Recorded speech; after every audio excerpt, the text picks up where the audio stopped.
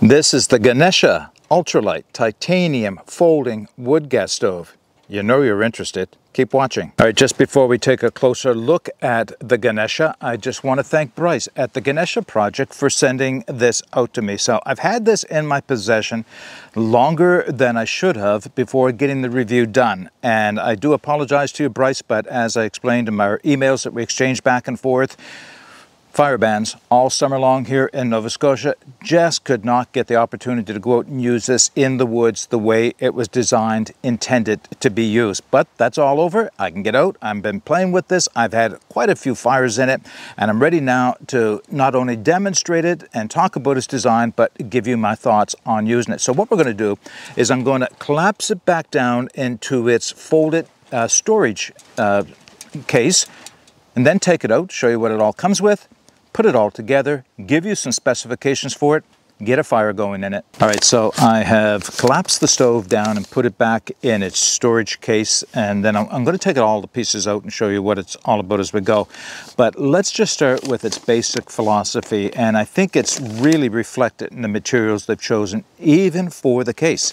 The case is just a Tyvek envelope. I say just a Tyvek envelope, but it is very lightweight, very sturdy, and it's held closed with a piece of Velcro.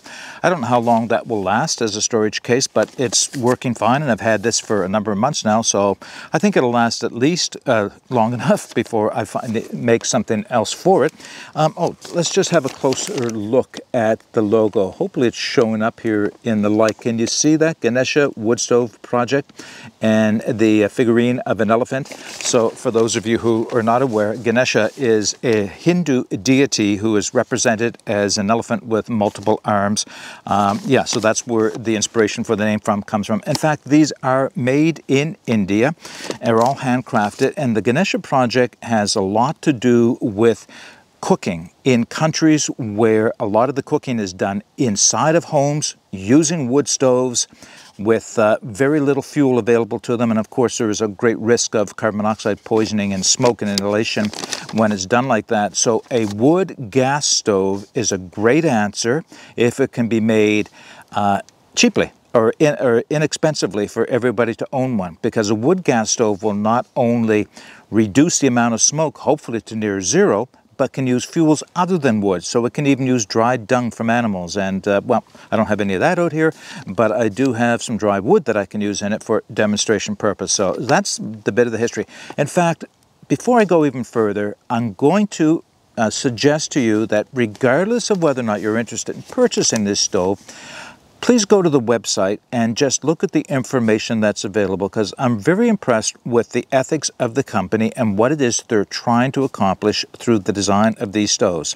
What I have in my hand is just made for use here in the Western world, but they make these stoves for use in countries, as I mentioned, where a lot of cooking is in, done indoors and very dangerous and fuel is not all that abundant. Okay, enough said about that. Let's start to look at what's inside the envelope.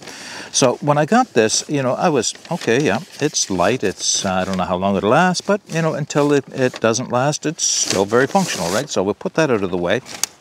Here's the next thing impressed me. The envelope that the folded stove uh, is in. This is actually a ground sheet that I'm going to be using and put underneath the stove to prevent fires from occurring. It's fiberglass impregnated with silicone very clever and very functional. It has, um, I wouldn't say a downside, but it does have something you have to be aware of. I'll explain as I go. So it just folds and wraps around and closes over the stove with a dome snap. And I'll just put that aside. You'll see it again in a moment. And then you get the two pieces that make up the stove. You get the inner chamber and the outer chamber. Let me just show you the inner chamber and how this goes together. So the inner chamber, as you can see, made of stamped titanium. You can see all the discoloration uh, with it. Now, mind you, the pot supports are made of uh, stainless steel, but everything else is titanium. The frame itself is stainless steel.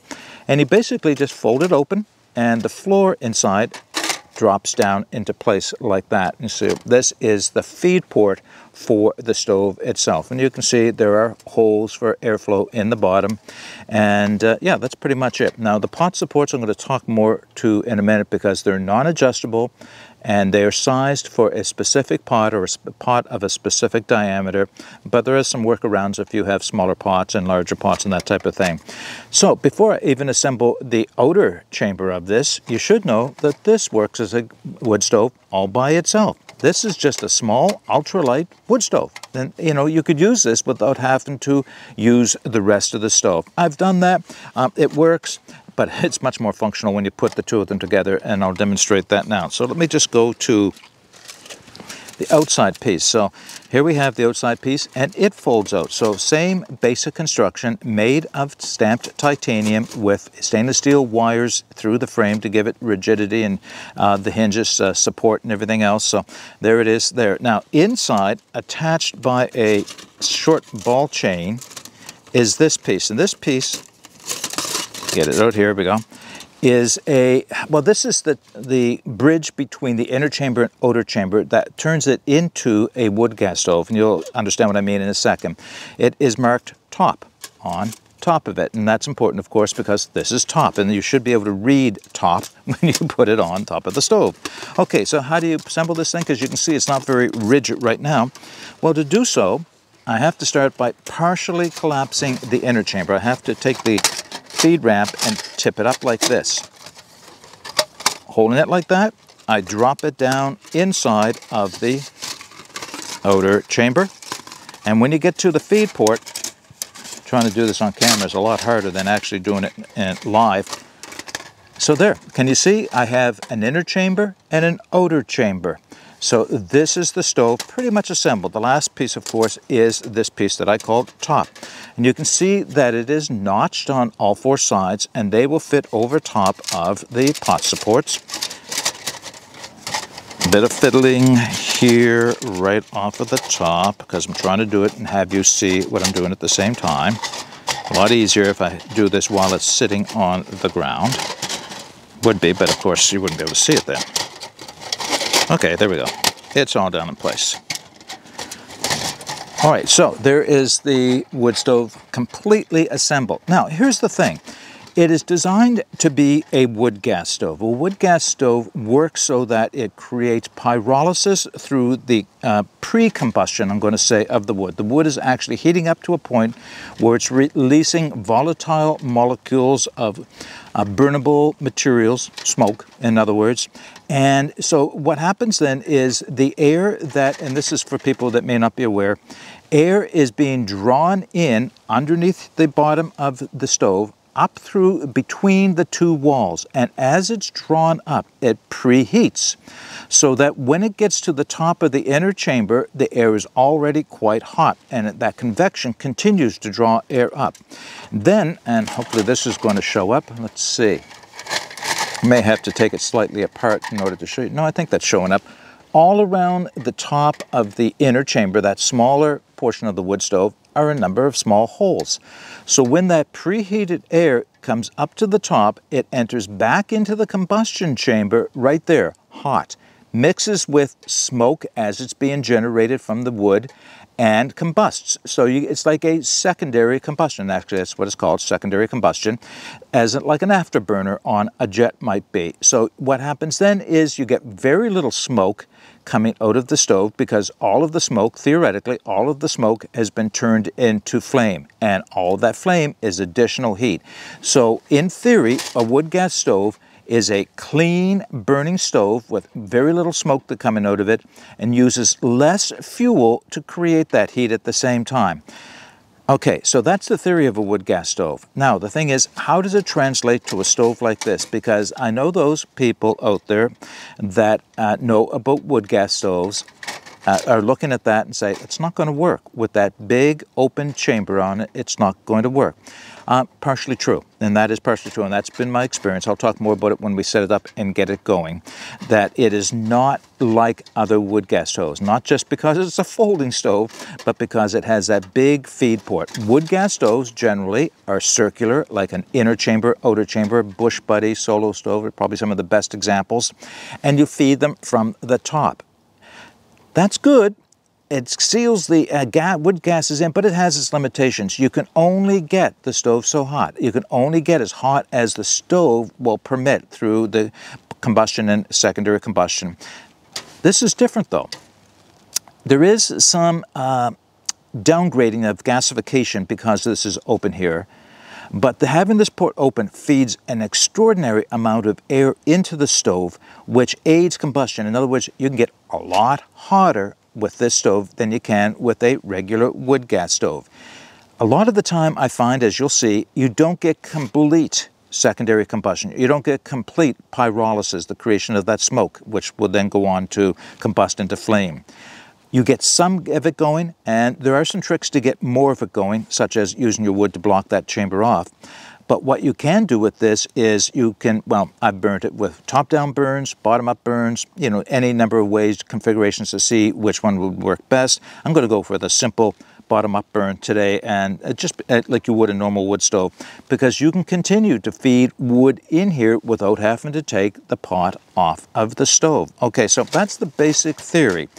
But what does it look like in practice? Well, let's just set it up and get a fire going in it. All right, it occurs to me I almost got through the uh, testing without giving you the dimensions and the weights for this thing. So let's just do that and then we can move on. So the weight is what's most important here, 7.8 ounces. Yes, 7.8 ounces. Now that also includes that little Tyvek bag and the fiberglass silicone uh, mat that you use on the ground. So altogether 7.8 ounces, 220 grams. Now I'm going to give you the assembled size and uh, the, the size of it all packed down will be in the video description. Five and a quarter inches square.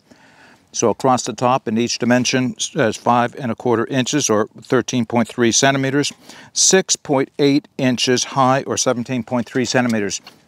So roughly the same size as the Firebox stove or the Bushbox XL. Yeah, about the same size, but much, much lighter. Lighter than even the titanium versions of either of those two stoves.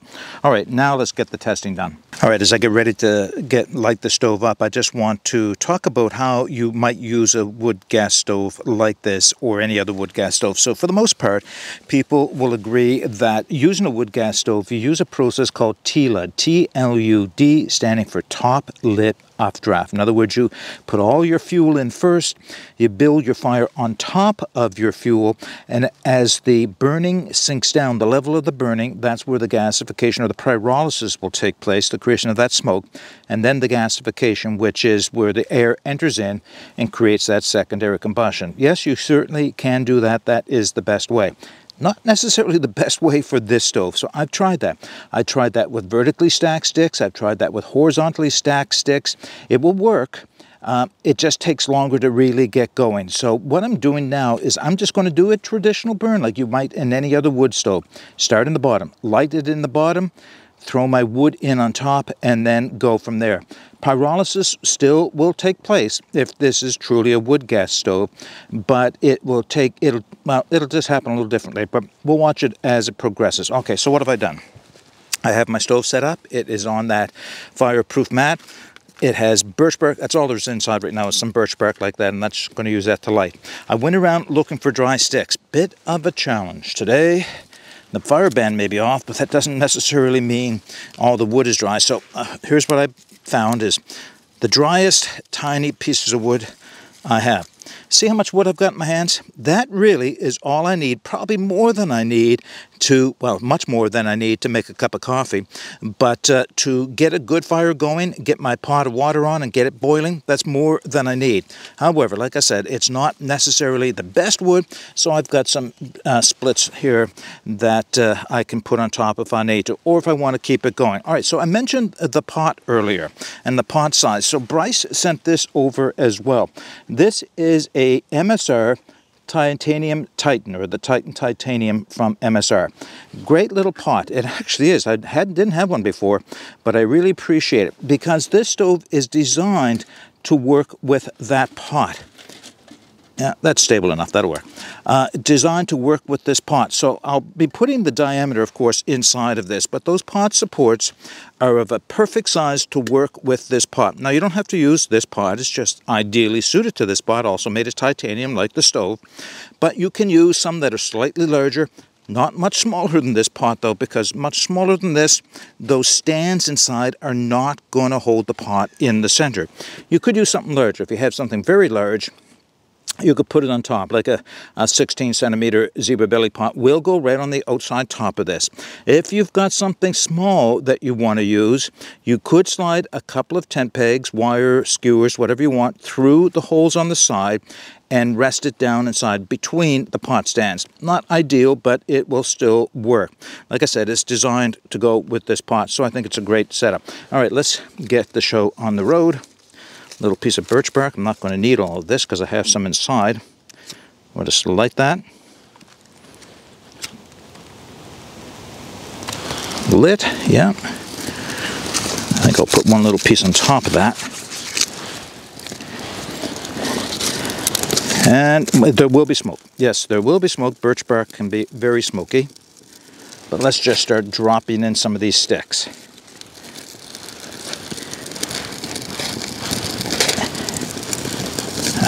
So you can see I'm not being very precise about it. And the, the whole point of this stove is that you should be able to walk around, pick up, look how fast that's catching on.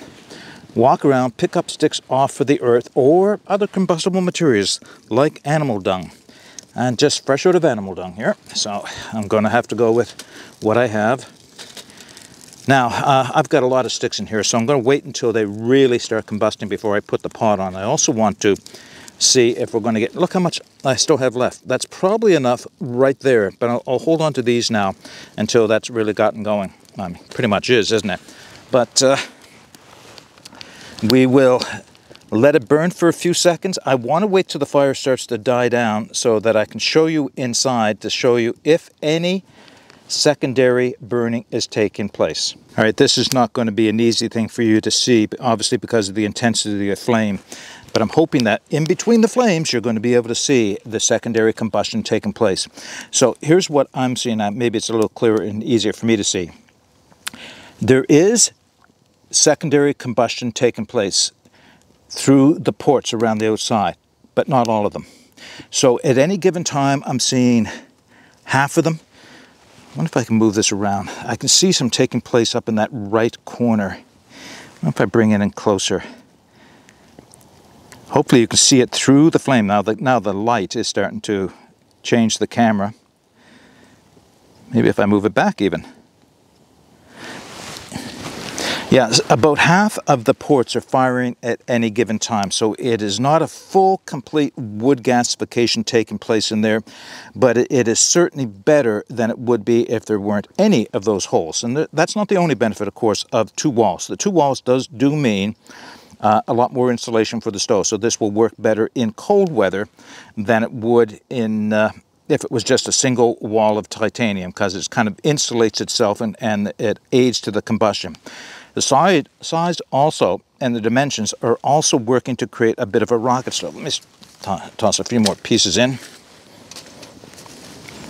Bring the, uh, you can see it goes through fuel pretty quickly, but this is still enough to get my pot of water up to temperature for coffee. I'm trying to catch the gasification taking place in there, but not so much happening right now. All right, let's just uh, see if I can get the pot on. I think it's probably got to get some of those sticks out of the way. There we go. That wasn't a good one. Knock him down inside and then we'll put the pot on. There we go.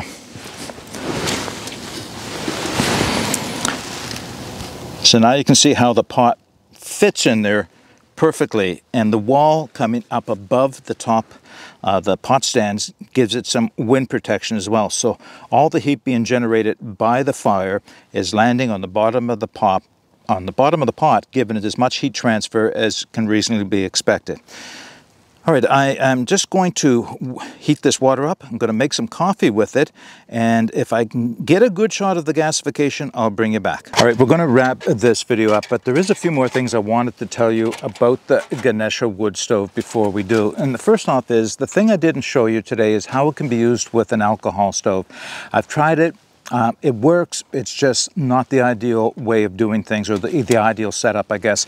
So the concept is if you have a Trangia, you can take the cap off, set the cap in the bottom of the inner chamber, set your stove on top of that, and that will bring the stove up closer to the bottom of your pot closer, but still not a great gap. It's actually a little taller than it should be. It'll work, it's just not the most efficient way of doing things. I'm okay with that because this, I, I have lots of other little stoves and arrangements I can bring if I'm going to bring an alcohol stove along with me when I bring this stove out. So I don't need them to work integrated with this.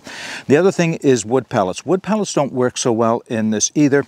Uh, you can probably see the holes in the bottom there is not a great number of holes and there's not supposed to be for the way this works, but wood pellets need quite a bit of airflow through the bottom. So there's not enough holes there for wood pellets to work well. And the other thing, of course, is the front feed port is wide open, so pellets would just pour out unless you slanted them all to the back. And yes, you could do that. Can you use wood pellets? Yes, you can, but it's not ideal fuel, fuel for this stove. In fact, uh, this fuel is designed for wood dung, other combustibles.